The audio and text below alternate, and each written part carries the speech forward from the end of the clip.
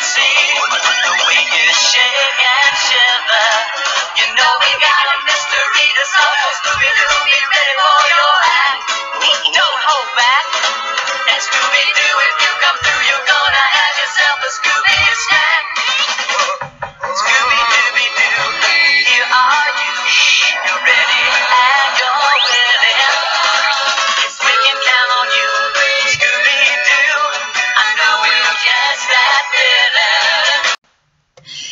guys, Miss Jaycilyn here along with Freckles the Frog, ready to begin a new day and take a new adventure with you. So, for this adventure, I think we're going to need some flippers, we're going to need a pair of goggles, and I think our floaties because we are going to be taking our adventure down underneath the water today. So, everybody, put those Scooby snacks in a Ziploc bag and seal it up tight because we don't want them to get soggy. Because who wants to eat a soggy Scooby snack? Definitely not me. So, everybody, go put them in the bag and let's get ready to go underneath the water and learn about underwater habitats and those mysterious animals that live down there. Well, guys, we made it. We made a big splash coming down here, but we're here. Now, we're going to learn about some of the habitats that contain water. The freshwater habitats, guys. This water is the kind of water that we drink. It is fresh, it tastes good, it is cool most of the time. The water is not salty. These freshwater habitats includes lakes, ponds, streams, rivers. All of these water habitats are found on the land. And you will find a ton of moss around it. You will find muds, different grasses, algae, pussy willows, and you will find lily pads. You're not going to find trees growing in the water too much. You see them on the outside of the water, around the lakes and the ponds. There are animals that do live in freshwater. You have a lot of freshwater fish, including the salmon. You also have turtles, you have toads, you have frogs, then you have insects like the mosquitoes and the flies. They make their home around swamps and bogs. Also, down south, the alligator and the crocodile are some freshwater animals as well. They like to swim in it. Also, in Africa, where we were with the savannah, there is an animal called the hippo. And the hippo, he's a large freshwater animal. He likes to sit in there and he likes to bathe all day long. Next, guys, we have the coral reefs. Now, guys, the coral reef is considered the rainforest of the sea. It is beautiful. There are mountains and mountains of coral just every which way. And coral, guys, it is actually an animal. It looks like a rock, but it's not. It's actually considered an animal. Coral can have many different colors. It can come with in large and it can be small. It can be pointed and sharp or it could be round like a ball. Coral is amazing. It's an amazing little animal and it grows. And plenty of animals make their homes throughout the coral. You have little fish. You have seaweeds. You have sea urchins. You have starfish. You have little crabs that scurry around. You have seahorses. All of these little animals live around and in the coral reefs. The Great Barrier Reef is the largest coral reef in the world. So it is the largest in the ocean. It is so, so large that if you're up walking on that moon, you can see it from outer space. You can see where it is and how big it is. I don't know about you, but I kind of want to go up on that moon and, and see if I can see the reef because uh, that seems pretty cool. And last but not least, guys, is the ocean habitat. The ocean is huge. It makes up half of the world that we live on. So that means there is more water and ocean than there is land on this earth. So that sort of makes you believe that there are actually more sea creatures and marine life than there is life on land. Hmm, interesting thought. We have five major oceans, and all of these oceans are made up of salt water.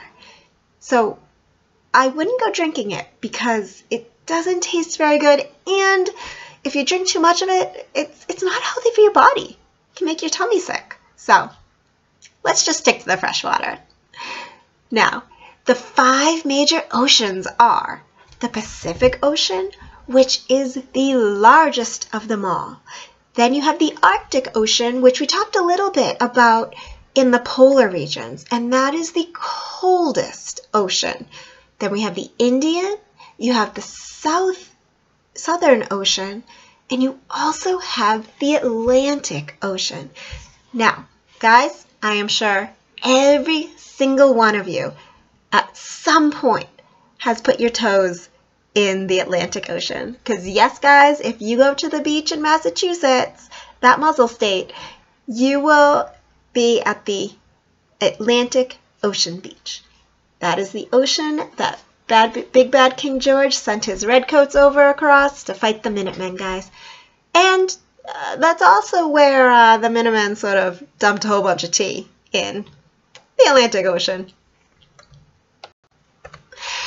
Underneath the salt water, you will find many different things. You will find corals, of course, because the, the coral reefs are in salt water as well. You will find the kelp, the seaweed, the seagrass. You will see rocks. You will find the sand, that you. It's sometimes rough and sometimes it's soft depending on where you are. You have rocks you have seashells you have trenches you have caves you have even mountain ranges underneath the water. Also there are underwater volcanoes everywhere. And guys yes they do erupt. Hey and if you keep on swimming you probably will find a sunken ship or two Maybe a buried pirate's treasure, too. You never know. Also, it's an amazing thing, but under the water holds cities sometimes. Whole entire cities have been lost to the ocean, either by terrible storms that came up or the land just caved in. You can find cities underneath the waters of the ocean.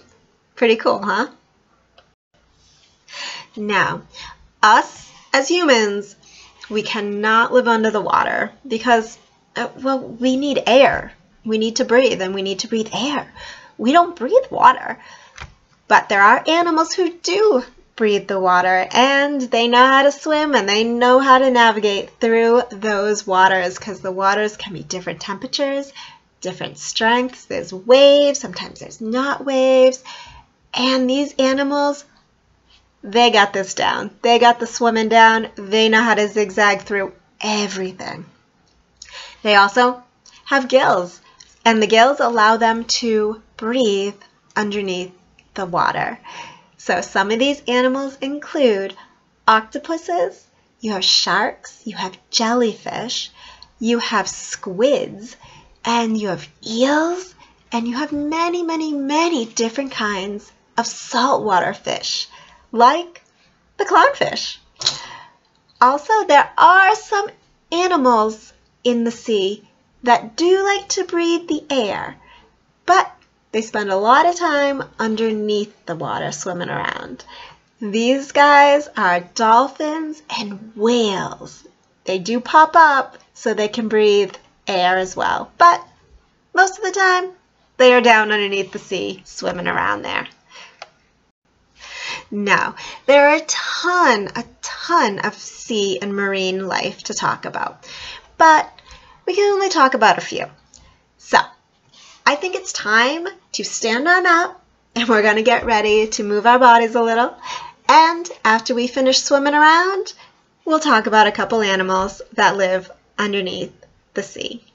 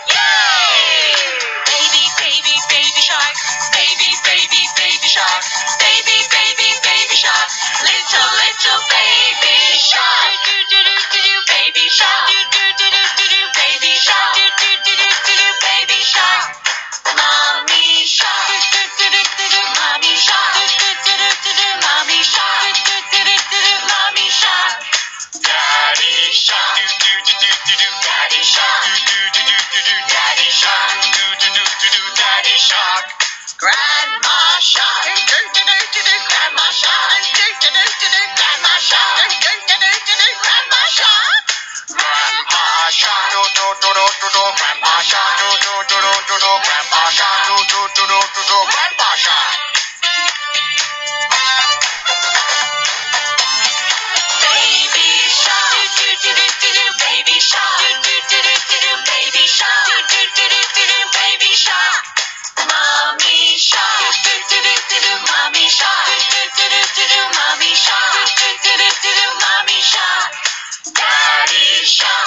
Daddy Shark. Daddy Shark.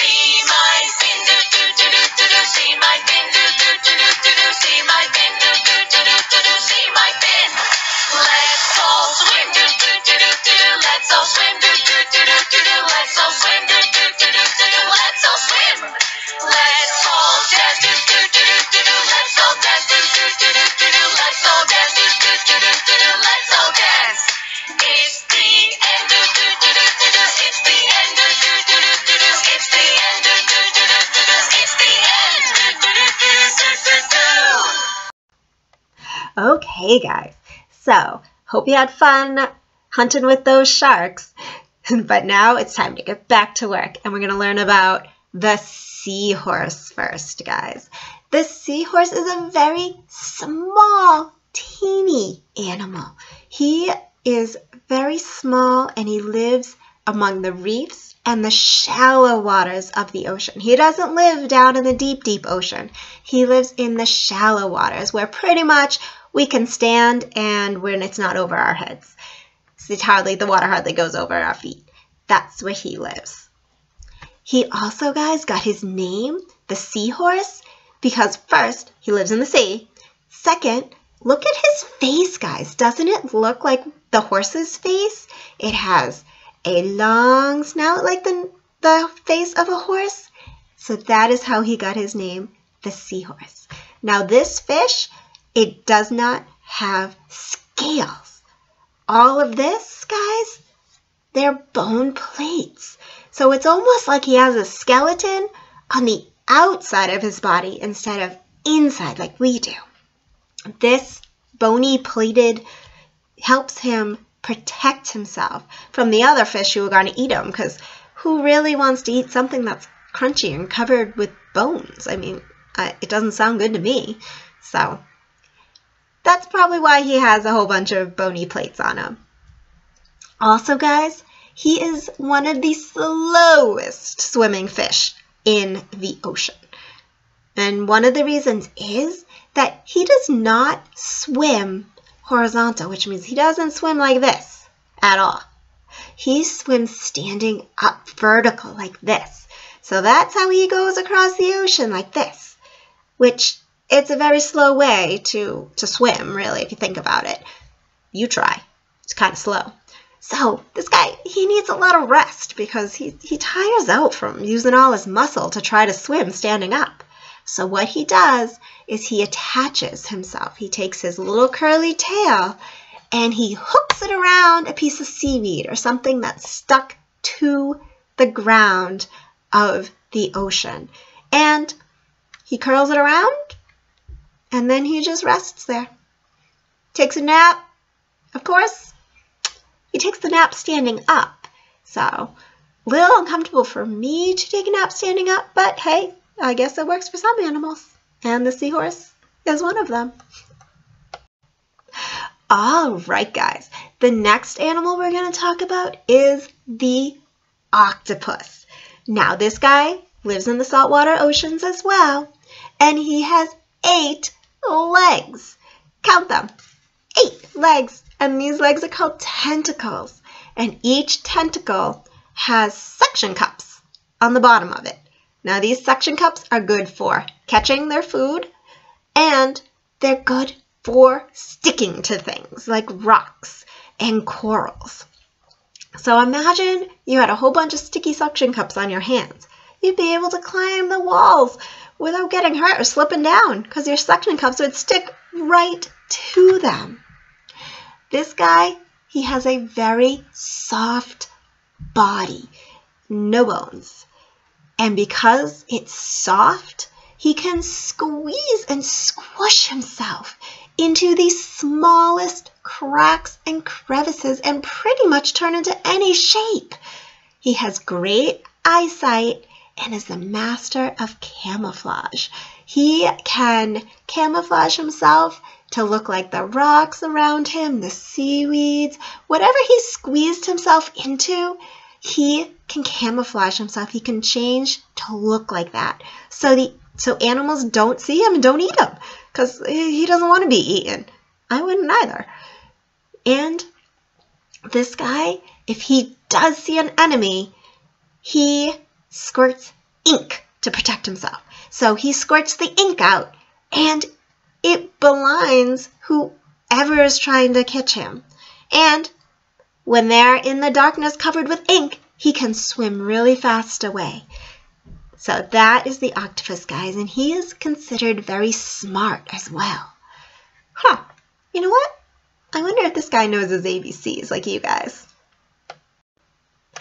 Now, guys, I think it's time that we get out of the water, take our floaties off, Make sure you grab a towel to dry off because we are going to do our art project next. So let's go, step out of this water, and then we'll return and do our art project. And we're back, guys. Whew, I hope you all, all dried off because, you know, I was a little chilly. I had to wrap myself up in a towel. Today, for art, we are going to be making the seahorse, guys. So we're going to make our very own seahorse. So let's go see what supplies we need and let's go get them. Okay, guys, you're going to need box of crayons for this. You're going to need definitely a glue stick. I chose green for my body, so you're going to need some colored paper or you can use a paper plate or you can use just white paper do it on draw it on white paper and then color it in. So I chose the green for my body and my head. I chose orange for my lips. And then you have I had a yellow and a purple that I used for its bony plates on his back. Like I said any color you wish he's your little seahorse. Also guys we're going to need our scissors. Remember Scissors are a tool, not a toy, guys. So, no cutting hair, no cutting clothes, no cutting yourself or friends. Now, the circle that is largest goes on the bottom, and the little circle goes on top when you hold your scissors. Your three fingers, your pointed, your middle, and your ring, go right through the big hole. Your thumb goes through the little hole up top. Then you have your nice alligator chomping movements going on. So let's get started. Let's draw some shapes and then we can start cutting. So guys, because I decided to use green for my body, you need half a circle on the green paper. Now, you're probably asking, Miss Jaycilyn, how did you get those lines of the circle so round. My secret, I traced a plate. So you have a plate or a bowl, any circular object would do. And you put it halfway over the paper. And then you can just take your pencil or your marker and trace the circle. And then you get a nice half outline. Or if you have paper plates at home, you can just cut a paper plate right in half and that will also make half of a circle, just like so. Just cut it right in half. And there you go for his body. So after we have the body all cut out, it is time to cut out our circle. So we're going to need two smaller round circles and one's going to be for his tail and one's going to be for his head. So I need you to cut both of those circles out now. Then, here's that fun shape that I know mummies and daddies all love to draw, is the heart. We're going to do one heart for his little lips going on. Also, the white paper, two little circles on the white paper for his eyeballs that you're going to cut out later. So you're going to put everything together, his body, his head, his and his eyeballs with the glue stick. Okay guys, now that you have your head cut out, your body, which remember, the round part is his belly. So when you put the lips on, you have to make sure that the lips are going in the same direction as your belly bump. I put one eyeball on it because it's sort of a side view of the seahorse. Now it's time for the tail. So you're going to take your other circle, guys. And this is kind of tricky, but I'm sure you guys will be able to do it. Now you're going to take your scissors and you're going to cut. You're going to make a nice cut in the middle and you're just going to follow the edge of the circle and turn your circle to make a nice little curvy spiral, guys. I know, kind of difficult. Kind of comes out looking like a C. Then you just glue it right on to the bottom of your seahorse. Make sure the little curved point is in the direction, the same direction as your belly bump. So it goes just like that, guys. So now he has a nice curved tail that he can hook onto those plants so he can rest. Now comes the fun part. You're going to do his bony little plates. Like I said, I picked yellow and purple for my plates. You don't have to. You can pick whatever color you would like and make him a colorful seahorse, whatever you would like. These guys, I don't have any drawn shapes for these. I'm just going to cut up my paper into little strips, just like so. Free cut. Just cut the paper though. It's not free cut for everything. And just make little plates, sort of like you're doing confetti, and just snip away. Watch out for your fingers. Once you have all the little bony plates, then you're just going to glue them, and you're going to glue them onto the flat edge of your seahorse. So you don't put him on his belly, which is the round part. You put him all going down his back. Because remember, the seahorse has the bony plates on his back. So you're going to put them all the way down. You can put some on his tail if you want. You can put some on his head, whatever you would like. So in the end, your seahorse comes looking out like this. Bony plates on his back and his head. He has a nice smiley face with a beautiful big eyeball. You can put two eyeballs if you would like.